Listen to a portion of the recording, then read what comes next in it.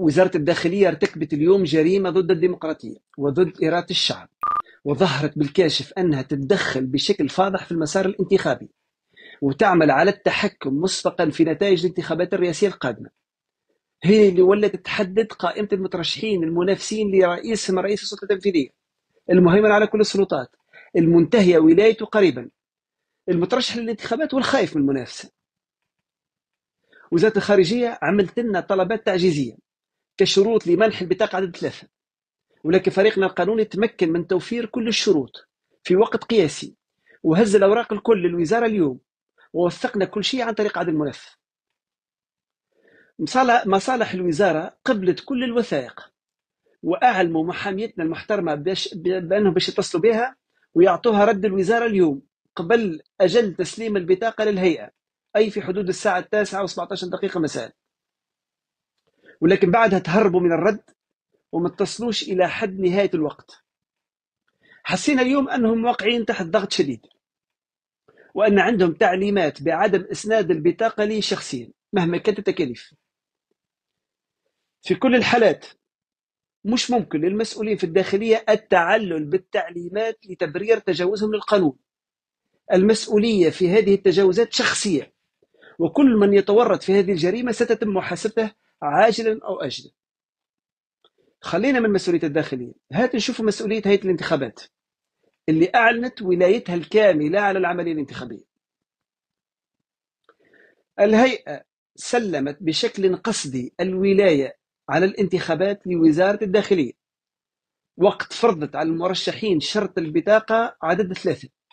وهي تعرف أن الشرط هذا غير قانوني وغير دستوري.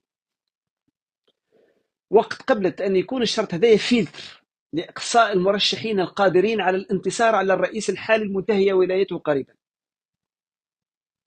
اليوم وجهنا عدد منفذ الهيئة صباحا. سلمناها كل الوثائق اللي طلبتها الداخلية وسلمناها اليوم للداخلية وطلبنا منها القيام بدورها في طلب البطاقة عدد ثلاثة من الداخلية مباشرة. في الليل قبل الموعد النهائي اللي حددته الهيئة توجه فريقنا للهيئة. وأعلمهم بمماطلة وزارة الداخلية في تمكين البطاقة وحملهم مسؤولية التواصل مع الوزارة واستلام المعطيات المطلوبة من عندهم. وطلبنا منهم إلغاء المهلة اللي حددوها لنا الليلة على الساعة 9 و17 دقيقة باعتبار أن الوزارة هي اللي عطلتنا وماطلتنا. الكرة الآن في مرمى الهيئة وخاصة رئيس السيد فاروق بعسكر. هم يتحملوا المسؤولية الكبرى على توفير شروط نزاهة ومصداقية العملية الانتخابية.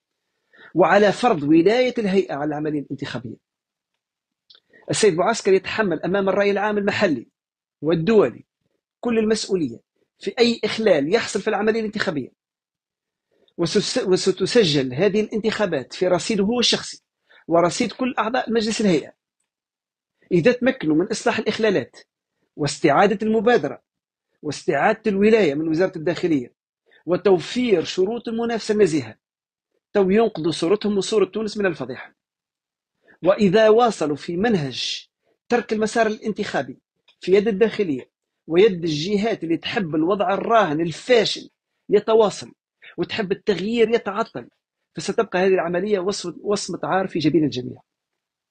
باختصار شديد ننتظر من الهيئة الليلة أن تعلن على إلغاء شرط توفير البطاقة عدد ثلاثة من طرف المرشحين وأن تتصرف في الحصول عليها بطرقها.